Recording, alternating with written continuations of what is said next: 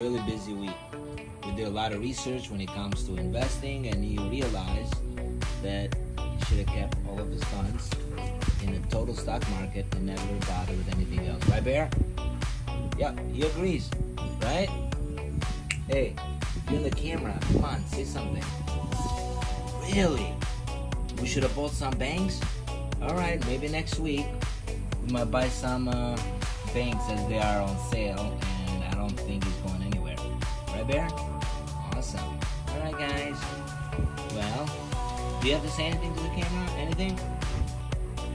Oh, pay off the credit card. Okay. Alright, so pay off the credit card. What else? Okay, pay off the credit card first, then invest.